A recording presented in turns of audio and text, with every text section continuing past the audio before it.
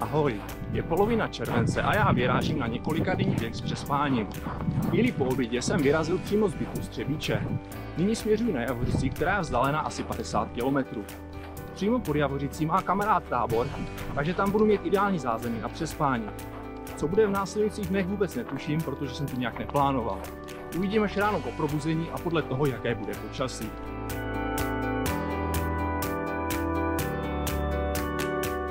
Třebíči bydlím úplně na okraji městské části Borovina, kde to má ven ze města na pole pouhých 100 metrů.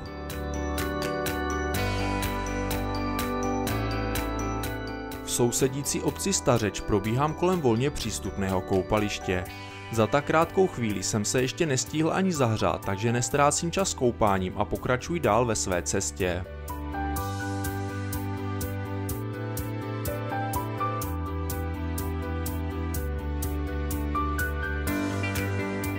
O něco dál na okraji obce Čechočovice se nachází zajímavý železniční viadukt. Cesta uvnitř něj je prudká a dlážděná kameny, takže například v zimě kvůli klouzání téměř nejde projít.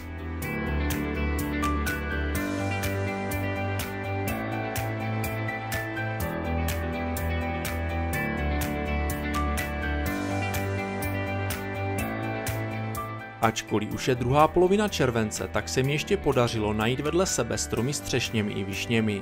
Protože touhle dobou bývají už přezrálé nebo opadané, hned si jich trochu natrhám.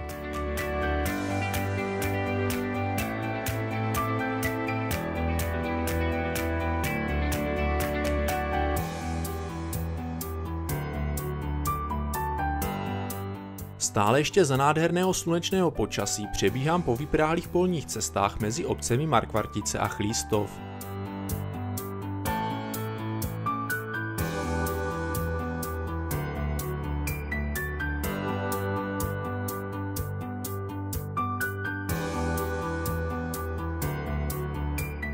Asi kilometr za Chlístovem jsem přes zarostlou louku vystoupal k vyhlídkovému místu u Hejka.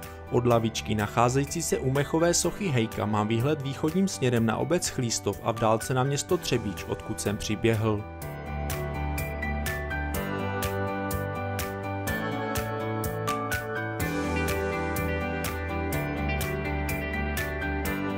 Přes Heraltické lesy jsem se dostal až k Lávoru rybníku, u kterého se na břehu nachází pěkné posezení. Od rybníka se běhnu po polní cestě do obce Opatov, kde si v obchodě nakoupím občerstvení.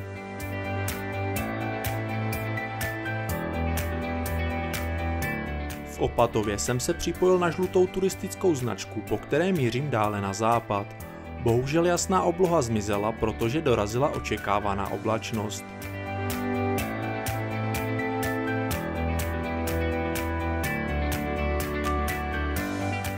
Zatažená obloha mi nakonec vůbec nevadí, protože se dlouhé kilometry pohybují lesy, kde není téměř nic k vidění.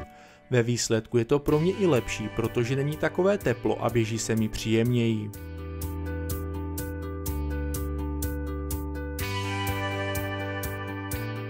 Uprostřed nekonečných lesů, kde není ani signál, se krátce dostanu do civilizace, když probíhá malou vesničkou Nepomuky.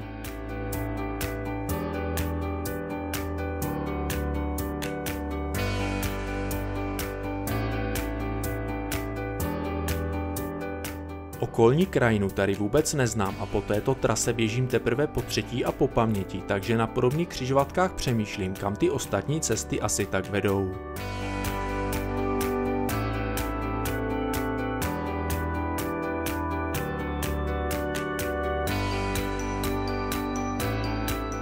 Protože k večeru potřebuji stihnout obchod v Telči, zkracuji si cestu přes pole. Otázkou ovšem zůstává, jestli jsem si kromě vzdálenosti ušetřil i čas.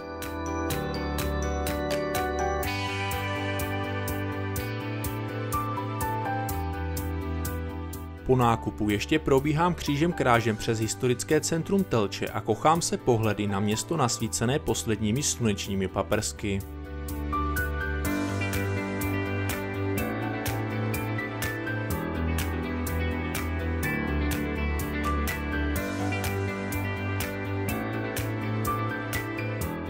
Stelče pokračují po zelené turistické značce stále proti zapadajícímu slunci, které se velmi brzy schová za Javořici, která už je přede mnou jen kousek.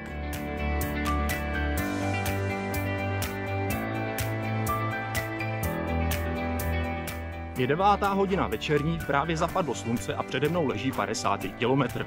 Předpokládám, že do půl hodiny doběhnu do tábořiště pod Javořicí, kde se umiju, z batohu vytáhnu bivak a přesně do rána. Sám jsem zvědavý, jaké bude zítra počasí, protože v předpovědi jsou nějaké kapky. A to není moc dobré.